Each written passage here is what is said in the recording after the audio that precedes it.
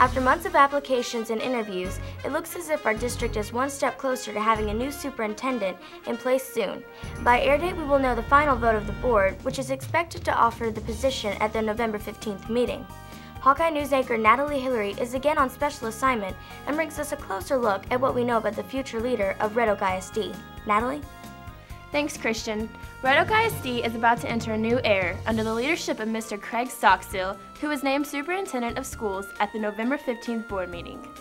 The school board has chose Mr. Stockstill for the position of Superintendent of Schools for Red Oak ISD from many who applied for the position. After selecting Mr. Stockstill in October, the law states a school district must wait 21 days after naming the lone finalist before the district can hire him. Our producer Allen Oliver attended the meeting on November 15th and got a chance to talk to Mr. Stockstill about his new position at Red Oak ISD. Well, my vision first is I need to find a vision. I need to find out what Red Oak ISD. Obviously, you have an outstanding district, and I need to find out what's going on here and what you're doing well, and see if I have anything that I can offer to tweak it. I believe I have a few ideas, but the first thing to do is to find out and learn about Red Oak ISD. We're certainly uh, pleased to be considered a superintendent candidate for such a wonderful district. Mr. Stockstill is currently the superintendent at Floresville ISD, which is located south of San Antonio. Mr. Stockstill brings over 20 years of administrative experience to Red Oak ISD.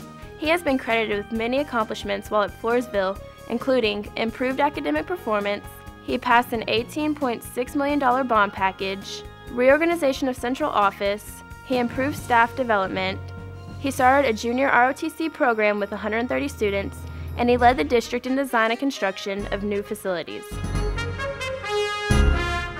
Mr. Stockstill is 51 years old and is married to his wife, Kathy, who is a teacher. The Stockstills have one daughter who is married, and Mr. Stockstill has one grandson. Mr. Stockstill grew up in Weatherford and graduated in 1968. He has attended college at Weatherford College, TCU, and received his superintendent certification from North Texas State University. Mr. Stockstill has been superintendent at Blum ISD, Marion ISD, Whitesboro ISD, and at Floresville since July 2000.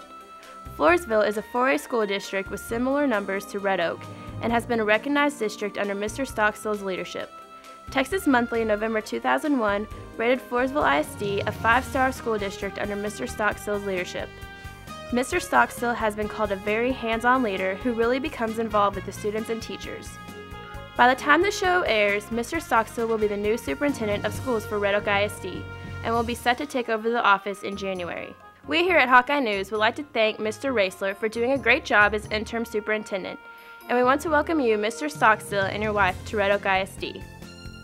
We hope to have an opportunity to get to know Mr. Stockstill much better in the coming months as he begins a new era for Red Oak ISD under his leadership in 2005. Reporting from Red Oak ISD Administration Office, I'm Natalie Hillary. See you back in the studio next month.